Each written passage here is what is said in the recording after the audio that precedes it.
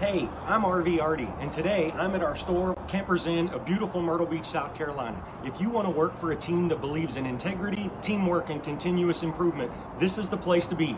Just ask our people. Hi, my name is Karen Cunningham. I'm the service manager in Myrtle Beach, South Carolina. Um, what I love about working here, obviously we get to, nowhere else would you get to dress up like this.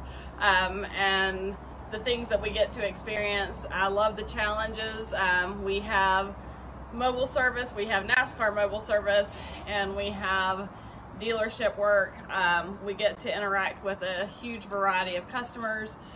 The team that we have is second to none. Um, I appreciate everything that everybody does daily. Um, so the, in a nutshell, we are family and that's why we're here.